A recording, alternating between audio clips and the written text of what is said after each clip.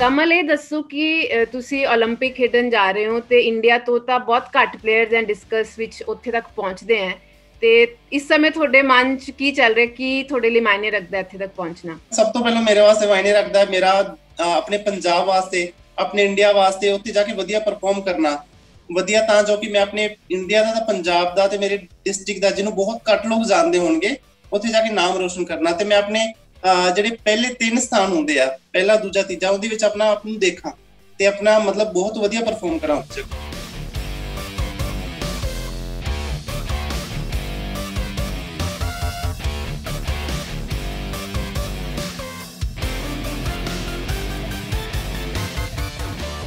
ਤੇ 올림픽 ਤੇ ਤੇ ਤੁਸੀਂ ਅੱਜ ਕੁਆਲੀਫਾਈ ਕਰ ਗਏ ਹੋ ਨੈਸ਼ਨਲ ਰਿਕਾਰਡ ਹੋਲਡਰ ਹੋ ਇਹ ਦੱਸੋ ਤੁਹਾਡੀ ਇਹ ਜਰਨੀ ਸ਼ੁਰੂ ਕਿੱਦਾਂ ਹੋਈ ਥੋੜਾ ਜਿਹਾ ਆਪਣੇ ਦੱਸੋ ਕਿਹੜੇ ਪਿੰਡ ਤੋਂ ਕਿੱਦਾਂ ਤੁਸੀਂ ਇਹ ਸਪੋਰਟਸ ਚਾਏ ਮੇਰੀ ਜਰਨੀ ਸਟਾਰਟ ਹੋਈ ਸੀ ਸਕੂਲ ਤੋਂ ਇੱਕ ਛੋਟੇ ਜਿਹੇ ਸਕੂਲ ਤੋਂ ਤੇ ਉੱਥੋਂ ਮੈਂ ਆਪਣੇ ਡਿਸਟ੍ਰਿਕਟ ਜ਼ਿਲ੍ਹਾ ਪੱਧਰ ਦੀਆਂ ਖੇਡਾਂ ਵਿੱਚ ਭਾਗ ਲਿਆ ਉਸ ਤੋਂ ਬਾਅਦ ਸਟੇਟ ਪੱਧਰ ਦੀਆਂ ਵਿੱਚ ਭਾਗ ਲਿਆ ਉਸ ਤੋਂ ਬਾਅਦ ਮੇਰੇ ਮਨ ਵਿੱਚ ਆਇਆ ਕਿ ਮੈਂ ਹੁਣ ਸਪੋਰਟਸ ਦੇ ਨਾਲ ਖੇਡਾਂ ਦੇ ਨਾਲ ਵੀ ਜੁੜਾਂ ਤੇ ਮੈਂ ਆਪਣੇ ਨੇੜੇ ਤੇੜੇ ਪਿੰਡਾਂ ਵਿੱਚ ਪਤਾ ਕੀਤਾ ਕਿ ਕਿੱਥੇ ਜਿਹੜਾ ਸਭ ਤੋਂ ਮੇਰਾ ਘਰ ਤੋਂ ਨੇੜੇ ਪਵੇ ਉਹ ਪਿੰਡਾਂ ਵਿੱਚ ਕਿੱਥੇ ਸਪੋਰਟਸ ਹੁੰਦੀ ਹੈ ਨਾਮ ਵੀ ਦੱਸ ਦਿਓ ਪਿੰਡ ਦਾ ਹਾਂਜੀ ਮੈਂ ਬਾਦਲ ਪਿੰਡ ਸੀ। ਉੱਥੇ ਸਾਈ ਸੈਂਟਰ ਵਿੱਚ ਰਾਖੀ ਤੇ ਅਗੀ ਕੋਰਸ ਸੀ ਜਿਨ੍ਹਾਂ ਦੇ ਅੰਡਰ ਮੈਂ ਜਾ ਕੇ ਪ੍ਰੈਕਟਿਸ ਸਟਾਰਟ ਕੀਤੀ ਜਾਂ ਆਪਣੇ ਖੇਡਾਂ ਦਾ ਉੱਥੋਂ ਸ਼ੁਰੂਆਤ ਕੀਤੀ ਸੀ। ਕਿੱਦਾਂ ਦੀਆਂ ਤੁਹਾਨੂੰ ਚੁਣੌਤੀਆਂ ਦਾ ਸਾਹਮਣਾ ਕਰਨਾ ਪਿਆ? ਸਭ ਤੋਂ ਪਹਿਲਾਂ ਤਾਂ ਘਰਦਿਆਂ ਨੂੰ ਮਨਾਉਣਾ ਮੁਸ਼ਕਿਲ ਸੀ ਕਿ ਮੈਂ ਖੇਡਾਂ ਵਿੱਚ ਜਾਣਾ। ਹੈ ਉਹਨਾਂ ਵਾਸਤੇ ਇਹ ਸੀ ਕਿ ਆਸ-ਪੜੋਸ ਦੇ ਜਿੰਨੇ ਵੀ ਘਰ ਸੀ ਸਾਰੀਆਂ ਕੁੜੀਆਂ ਪੜ੍ਹਦੀਆਂ ਸੀ ਤੇ ਉਹਨਾਂ ਦੀ ਸ਼ਾਦੀ ਕਰ ਦਿੱਤੀ ਜਾਂਦੀ ਸੀ ਵਿਆਹ ਕਰ ਦਿੱਤੇ ਜਾਂਦੇ ਸੀ।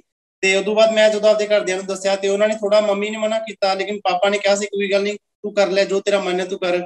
ਤੇ ਉੱਥੋਂ ਮੇਰੀ ਜਰਨੀ ਸਟਾਰਟ ਹੋਈ ਤੇ ਦੂਸਰੀ ਚੁਣੌਤੀ ਹੁੰਦੀ ਹੈ ਕਿ ਮੈਂ, ਆਪਾਂ ਨੂੰ ਕੁਝ ਪਤਾ ਨਹੀਂ ਹੁੰਦਾ ਪਿੰਡਾਂ ਵਾਲਿਆਂ ਨੂੰ।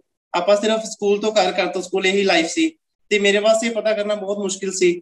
ਤੇ ਜਦੋਂ ਮੈਨੂੰ ਹੌਲੀ ਹੌਲੀ ਪਤਾ ਕੀਤਾ ਆਸ-ਪਾਸ ਜਿਹੜੇ ਮੇਰੇ ਮਤਲਬ ਕੋਚਾਂ ਦਾ ਮੇਰੇ ਕੋਲ ਨੰਬਰ ਹੈਗਾ ਸੀ, ਮੈਂ ਉਹਨਾਂ ਤੋਂ ਪਤਾ ਕੀਤਾ ਤੇ ਮੈਨੂੰ ਬਾਦਲ ਦਾ ਪਤਾ ਲੱਗਾ ਤੇ ਉੱਥੋਂ ਮੇਰੀ ਜਰਨੀ ਸ਼ੁਰੂਆਤ ਹੋਈ। ਲੇਕਿਨ ਫਿਰ ਵੀ ਆਪਾਂ ਬੈਕਗ੍ਰਾਉਂਡ ਦੇ ਵਿੱਚ ਇੱਕ ਬਹੁਤ ਵੱਡੀ ਦਿੱਕਤ ਦੀ ਗੱਲ ਹੈ ਕਿ ਕਿਸੇ ਨੂੰ ਪਤਾ ਨਹੀਂ ਹੁੰਦਾ ਕਿ ਸਪੋਰਟਸ ਹੈ ਕੀ। ਜਾਂ ਕਿਹੜੀ ਗੇਮ ਕਿਵੇਂ ਖੇਡਣੀ ਚਾਹੀਦੀ ਹੈ? ਤੁਹਾਡੇ ਪੇਰੈਂਟਸ ਮੰਨ ਗਏ ਤਾਂ ਤੁਸੀਂ ਇੱਕ ਤਰ੍ਹਾਂ ਦੇ ਲੱਕੀ ਸੀ ਬਟ ਆਮ ਤੌਰ ਤੇ ਛੋਟੀ ਜਗ੍ਹਾ ਤੇ ਪਿੰਡਾਂ 'ਚ ਜਿਹੜੀ ਇਹ ਫੀਮੇਲ ਪਲੇਅਰਸ ਉਹਨਾਂ ਨੂੰ ਕਿਸ ਤਰ੍ਹਾਂ ਦੀਆਂ ਦਿੱਕਤਾਂ ਆਉਂਦੀਆਂ ਹੈ? ਜੇ ਉਹਨਾਂ ਨੇ ਸਪੋਰਟਸ ਪਰਸਨ ਬਣਨਾ ਹੈ ਤਾਂ। ਪਹਿਲੀ ਗੱਲ ਤੇ ਆਪਣੇ ਫੀਮੇਲ ਜਿਹੜੀਆਂ ਮਤਲਬ ਕੁੜੀਆਂ ਹੁੰਦੀਆਂ ਉਹਨਾਂ ਨੂੰ ਸਿਰਫ ਇੱਕ ਹੁਣ ਮੈਂ ਪੜਾਉਣ ਲੱਪੇ ਪਹਿਲਾਂ ਤੇ ਪੜਾਉਣ ਦਾ ਵੀ ਰਿਵਾਜ ਹੈ ਨਹੀਂ ਸੀ ਕਿ ਕੁੜੀਆਂ ਨੂੰ ਸਿਰਫ ਪੈਦਾ ਹੋਈਆਂ ਨੂੰ ਕੰਮ ਕਰ ਸਿਖਾਓ ਕਰਦਾ ਤੇ ਠੀਕ ਹੈ, ਬਸ ਤੁਸੀਂ ਵਿਆਹ ਕਰੋ, ਸਾਡਾ ਪਿੱਛਾ ਛੁੱਟਿਆ, ਇਵੇਂ ਕਹਿ ਲਓ, ਜਿਵੇਂ ਤੁਸੀਂ ਮਰਜ਼ੀ ਕਹਿ ਲਓ। ਹੁਣ ਥੋੜੀ ਜੀ ਫਿਰ ਵੀ ਐਜੂਕੇਸ਼ਨ ਵੱਲ ਜਾਣ ਲੱਗ ਪਏ ਨੇ।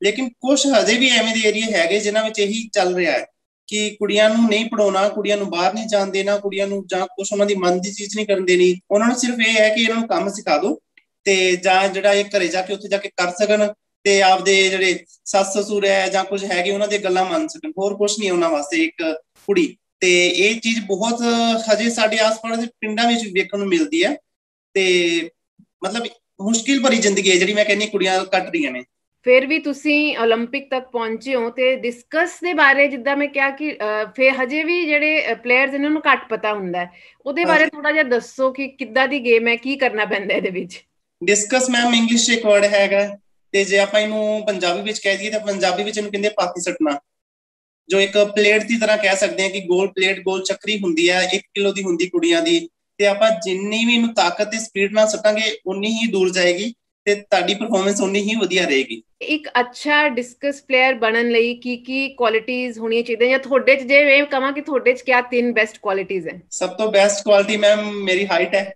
ਤਾਂ ਦੂਸਰੀ ਬੈਸਟ ਕੁਆਲਿਟੀ ਹੈ ਮੇਰੀ ਸਟਰੈਂਥ ਤੇ ਤੀਸਰੀ ਬੈਸਟ ਕੁਆਲਿਟੀ ਹੈ ਕਿ ਮੈਂ ਕੁਝ ਵੀ ਕਰ ਸਕਦੀ ਹਾਂ ਮੈਨੂੰ ਇਹ ਲੱਗਦਾ ਹੈ। ਮੈਂ ਕਰਨ ਦੀ ਚਾਹ ਹੈ ਮੇਰੇ ਵਿੱਚ।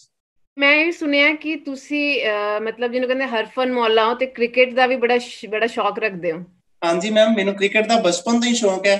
ਕਿਉਂਕਿ ਜਦੋਂ ਕਹਿੰਦੇ ਨੇ ਕਿ ਮੈਨੂੰ ਡਿਸਕਸ ਦਾ ਨਹੀਂ ਪਤਾ ਸੀ ਉਦੋਂ ਮੈਨੂੰ ਕ੍ਰਿਕਟ ਦਾ ਪਤਾ ਸੀ। ਤੇ ਮੇਰਾ ਇੱਕ ਪੈਸ਼ਨ ਬਣ ਗਿਆ ਸੀ ਕਿ ਮੈਂ ਕ੍ਰਿਕਟ 'ਚ ਵੀ ਜਾਣਾ ਹੀ ਜਾਣਾ ਹੈ। ਤੇ ਮੈਨੂੰ ਕ੍ਰਿਕਟ ਦਾ ਕੁਝ ਅੱਗੇ ਨੌਲੇਜ ਨਹੀਂ ਪਤਾ ਲੱਗੀ ਜਾਂ ਮੈਨੂੰ ਕਿਸੇ ਨੇ ਦੱਸਿਆ ਨਹੀਂ ਤੇ ਮੈਨੂੰ ਡਿਸਕਸ ਦਾ ਪਤਾ ਲੱਗ ਗਿਆ। ਤੇ ਫਿਰ ਮੈਂ ਡਿਸਕਸ ਵਿੱਚ ਚਲੀ ਗਈ ਤੇ ਕ੍ਰਿਕਟ ਮੇਰਾ ਜਿਹੜਾ ਪੈਸ਼ਨ ਸੀ ਉੱਥੇ ਹੀ ਰਹਿ ਗਿਆ। ਲੇਕਿਨ ਅੱਗੇ ਵੀ ਕਦੇ ਮੈਨੂੰ ਕਦੇ ਮੌਕਾ ਮਿਲਿਆ ਤੇ ਮੈਂ ਕ੍ਰਿਕਟ ਜ਼ਰੂਰ ਖੇਡਾਂਗੀ। ਕਿਸ ਤਰ੍ਹਾਂ ਦੇ ਚੈਲੰਜਸ ਤੁਹਾਨੂੰ ਫੇਸ ਕੀਤੇ? ਤੁਹਾਨੂੰ ਲੱਗਦਾ ਕਿ ਅਗਰ ਇਹ ਮੈਨੂੰ ਫੈਸਿਲਿਟੀਆਂ ਹੁੰਦੀਆਂ ਤਾਂ ਸ਼ਾਇਦ ਮੈਂ ਹੋਰ ਟੂਰਨਾਮੈਂਟਸ ਅੱਗੇ ਜਾ ਸਕਦੀ ਸੀ? 2019 ਤੋਂ ਤਾਂ ਮੈਂ ਗੋ ਸਪੋਰਟਸ ਮੈਨੂੰ ਫਾਊਂਡੇਸ਼ਨ ਉਹਨਾਂ ਨੇ ਮੈਨੂੰ ਨਿਊਟ੍ਰੀਸ਼ਨ ਪਲਾਨ ਬਣਾ ਕੇ ਦਿੱਤਾ ਉਹਨਾਂ ਨੇ ਮੈਂ ਹੈਲਪ ਕੀਤੀ ਲੇਕਿਨ ਉਦੋਂ ਪਹਿਲਾਂ ਜਿਹੜਾ ਮੇਰਾ ਖਾਣ ਪੀਣ ਦਾ ਚੀਜ਼ਾਂ ਸੀ ਜਾਂ ਖਾਣ ਪੀਣ ਦਾ ਸਿਸਟਮ ਸੀ ਸਹੀ ਨਹੀਂ ਸੀ। ਸਾਨੂੰ ਜਿਵੇਂ ਮੈਸ ਵਿੱਚ ਜਿਵੇਂ ਰੋਟੀ ਪਾਣੀ ਮਿਲਣਾ ਅਸੀਂ ਸਿਰਫ ਉਹੀ ਖਾਣਾ ਸਾਨੂੰ ਸਪਲੀਮੈਂਟ ਦੀ ਕੋਈ ਨੌਲੇਜ ਨਹੀਂ ਸੀ ਜਾਂ ਪ੍ਰੋਟੀਨ ਹੁੰਦੇ ਜਿਹੜੀਆਂ ਤਾਕਤ ਵਾਲੀਆਂ ਚੀਜ਼ਾਂ ਹੁੰਦੀਆਂ ਤੇ ਇਹ ਚੀਜ਼ਾਂ ਦਾ ਮੈਨੂੰ ਕੋਈ ਨੌਲੇਜ ਨਹੀਂ ਸੀ। ਜੇ ਮੈਨੂੰ ਇਹ ਸ਼ੁਰੂ ਤੋਂ ਹੀ ਨੌਲੇਜ ਹੁੰਦੀ ਤੇ ਮਤਲਬ ਅੱਜ ਮੈਂ ਕਿਤੇ ਹੋਰ ਹੁੰਦੀ, ਕਿਉਂਕਿ ਮੈਨੂੰ ਪਤਾ ਹੁੰਦਾ ਕਿ ਇਹ ਸਪਲੀਮੈਂਟ ਆਪਾਂ ਲੈ ਸਕਦੇ ਹਾਂ, ਇਹ ਸਪਲੀਮੈਂਟ ਵਧੀਆ ਨੇ, ਇਹਦੇ ਨਾਲ ਵਧੀਆ ਪਰਫਾਰਮੈਂਸ ਮੇਨਟੇਨ ਹੁੰਦੀ ਹੈ। ਲੇਕਿਨ ਪਿੰਡਾਂ ਵਿੱਚ ਇਹੀ ਹੈ ਕਿ ਤੁਸੀਂ ਰੋਟੀ ਖਾ ਲਓ ਤੇ ਤੁਹਾਡੀ ਪਰਫਾਰਮੈਂਸ ਵੱਧ ਜਾਏਗੀ। ਅੱਜ ਕੱਲ ਵੀ ਇਹੀ ਸੋਚ ਹੈਗੀ ਹੈ। ਜੀ ਜੀ। ਤੇ ਸਪੋਰਟਸ ਕਲਚਰ ਨੂੰ ਵਧਾਵਾ ਦੇਣ ਲਈ ਤੁਹਾਨੂੰ ਕੀ ਲੱਗਦਾ ਹੈ ਕਿ ਕੀ ਕੀ ਹੋਣਾ ਚਾਹੀਦਾ ਹੈ ਤਾਂ ਕਿ ਇੱਕ ਪਲੇਅਰ ਨੇ ਅਗਰ ਉਹਦੇ ਚ ਕਾਬਲੀਅਤ ਹੈ, ਉਹ ਅੱਗੇ ਜਾ ਸਕੇ? ਮੈਮ ਗਰਾਊਂਡ ਲੈਵਲ ਤੇ ਕੰਮ ਕਰਨਾ ਚਾਹੀਦਾ ਹੈ। ਸਕੂਲ 'ਚ ਜਦੋਂ ਬੱਚਾ ਆਉਂਦਾ ਉਹਨੂੰ ਇੱਕ ਕੰਪਲਸਰੀ ਇੱਕ ਉਹਦਾ ਪੀਰੀਅਡ ਹੋਣਾ ਚਾਹੀਦਾ ਕਿ ਤੁਹਾਡਾ ਇੱਕ ਫਿਜ਼ੀਕਲ ਦਾ ਪੀਰੀਅਡ ਹੈ ਜਿੰਦੇ ਵਿੱਚ ਤੁਸੀਂ ਸਿਰਫ ਐਕਟੀਵਿਟੀਜ਼ ਕਰਨੀ ਹੈ ਕੁਝ ਗੇਮ ਖੇਡਣੀ ਹੈ ਜਾਂ ਉਤੇ ਸਕੂਲ ਵਿੱਚ ਕੋਚਿਸ ਰੱਖਣੇ ਚਾਹੀਦੇ ਕਿ ਤੁਸੀਂ ਸਿਰਫ ਇਹਨਾਂ ਬੱਚਿਆਂ ਨੂੰ ਖਿਡਾਉਣਾ ਹੈ। ਉਹਦੇ ਤੇ ਕੋਈ ਪੜ੍ਹਾਈ ਦਾ ਸਟ੍ਰੈਸ ਨਹੀਂ ਦੇਣਾ ਜਾਂ ਕੁਝ ਨਹੀਂ ਦੇਣਾ, ਤੁਹਾਡਾ ਇਹ ਪੀਰੀਅਡ ਸਿਰਫ ਇੱਕ ਖੇਡਣ ਵਾਸਤੇ ਹੈ, ਤੁਸੀਂ ਬੱਚਿਆਂ ਨੂੰ ਨੌਲੇਜ ਦੇਣੀ ਕਿ ਤੁਹਾਡਾ ਇਹ ਪੈਸ਼ਨ ਹੈਗਾ ਤੇ ਤੁਸੀਂ ਇਹਦੇ ਵੱਲ ਜਾਓ। ਜਿਹੜਾ ਬੱਚਾ ਜਿਸ ਗੇਮ ਵਿੱਚ ਪੈਸ਼ਨ ਰੱਖਦਾ ਉਹਦੇ ਵੱਲ ਉਹਨੂੰ ਭੇਜਣਾ ਚਾਹੀਦਾ ਹੈ। ਤੇ ਸਰਕਾਰ ਨੂੰ ਇਹਦੇ ਵਾਸਤੇ ਚਾਹੀਦਾ ਕਿ ਪਿੰਡਾਂ ਵਿੱਚ ਜਾਂ ਸ਼ਹਿਰਾਂ ਵਿੱਚ ਗਰਾਊਂਡ ਬਣਾਏ ਜਾਣ, ਤਾਂ ਉੱਥੇ ਕੋਚਿਸ ਰੱਖੇ ਜਾਣ, ਜਿਹੜੇ ਬੱਚਿਆਂ ਨੂੰ ਗਾਈਡ ਕਰ ਸਕਣ ਕਿ ਤੁਸੀਂ ਇਸ ਲੈਵਲ ਤੇ ਖੇਡੋ, ਤਾਂ ਤੁਹਾਨੂੰ ਇਹ ਉਹਨੂੰ ਦੱਸਿਆ ਜਾਵੇ ਕਿ ਤੁਹਾਨੂੰ ਇਸ ਚੀਜ਼ ਦਾ ਬੈਨੀਫਿਟ ਹੋਏਗਾ। ਜ਼ਰੂਰੀ ਨਹੀਂ ਕਿ ਕੱਲੀ ਸਪੋਰਟਸ ਸਟੱਡੀ ਨਾਲ ਹੀ ਜੌਬ ਲੱਗਦੀ ਹੈ, ਜਾਂ ਦਾ ਨੌਕਰੀਆਂ ਮਿਲਦੀਆਂ ਖੇਡਾਂ ਨਾਲ ਵੀ ਬਹੁਤ ਜੌਬ ਲੱਗਦੀਆਂ, ਪੰਜਾਬ ਪੁਲਿਸ ਹੋ ਗਈ ਜਾਂ ਹੋਰ ਵੀ ਸੈਂਟਰ ਬਹੁਤ ਰੇਲਵੇਜ਼ ਹੋ ਗਈ ਜਾਂ ਰੱਖਦੀ ਹੈ ਖਿਡਾਰੀਆਂ ਨੂੰ, ਤੇ ਉਹਨਾਂ ਨੂੰ ਦੱਸਣਾ ਚਾਹੀਦਾ ਹੈ। ਇੱਕ ਪਲੇਅਰ ਜੋ ਹੈ ਉਹਨੂੰ ਆਪਣੀ ਕੁਆਲਿਟੀਆਂ ਪਤਾ ਹੁੰਦੀਆਂ ਬਟ ਕਹਿੰਦੇ ਆ ਨਾ ਕਿ ਆਪਣੀ ਕਮੀਆਂ ਅਗਰ ਜਾਣ ਲੋ ਤਾਂ ਪਰਫਾਰਮੈਂਸ ਹੋਰ ਕਿਤੇ ਵਧ ਜਾਂਦੇ ਤੁਹਾਡਾ ਕੀ ਅਪਰੋਚ ਰਹਿੰਦਾ ਹੈ ਐਜ਼ ਅ ਪਲੇਅਰ ਖਾਸ ਕਰ ਹੁਣ ਜੇ ਤੁਸੀਂ 올림픽 ਦੀ ਵੀ ਤਿਆਰੀ ਕਰ ਰਹੇ ਹੋ ਇੱਕ ਪਲੇਅਰ 'ਚ ਮੈਮ ਕਮੀਆਂ ਉਹਨੂੰ ਪਤਾ ਨਹੀਂ ਹੁੰਦੀਆਂ ਉਹਨੂੰ ਕੁਝ ਕੁਝ ਕਰਦਿਆਂ ਪਤਾ ਲੱਗਦੀਆਂ ਕੁਝ ਉਹਨੂੰ ਆਪਦੇ ਉਹਦੇ ਨੇੜੇ ਜਿਹੜੇ ਕੋਚਿਸ ਹੁੰਦੇ ਉਹ ਦੱਸਦੇ ਆ ਦੇਖੋ ਕੋਈ ਵੀ ਇਨਸਾਨ ਪਰਫੈਕਟ ਨਹੀਂ ਹੁੰਦਾ ਸਾਰੇ 'ਚ ਹੀ ਕਮੀਆਂ ਹੁੰਦੀਆਂ ਕਿਸੇ 'ਚ ਕੋਈ ਕਮੀ ਹੁੰਦੀ ਕਿਸੇ 'ਚ ਕੋਈ ਕਮੀ ਹੁੰਦੀ ਹੈ ਬਟ ਇਹ ਆਪਾਂ ਕਿਵੇਂ ਕਵਰ ਕਰਦੇ ਹਾਂ ਡਿਪੈਂਡ ਕਰਦਾ ਹੈ ਗੁਰੂ ਜੀ ਮੇਰੇ 'ਚ ਕਮੀ ਹੈ ਤੇ ਕੁਝ ਉਹਦੀਆਂ ਅਸ਼ਾਈਆਂ ਵੀ ਹੋਣਗੀਆਂ ਜੇ ਮੈਂ ਉਹ ਅਸ਼ਾਈਆਂ ਨਾਲ ਕਮੀਆਂ ਕਵਰ ਕਰਦੀਆਂ ਤਾਂ ਇਹ ਚੀਜ਼ ਵਧੀਆ ਹੈ। ਤੇ ਮੇਰੀਆਂ ਵੀ ਕੁਝ ਕਮੀਆਂ ਸੀ ਜੋ ਮੇਰੀ ਕੋਚ ਨੇ ਜਾਂ ਮੇਰੀ ਫੈਮਿਲੀ ਨੇ ਜਾਂ ਮਤਲਬ ਮੈਂ ਖੁਦ ਉਸ ਚੀਜ਼ ਨੂੰ ਪ੍ਰਪੇਅਰ ਕੀਤਾ ਤੇ ਇਥੋਂ ਤੱਕ ਪਹੁੰਚੀ ਹਾਂ।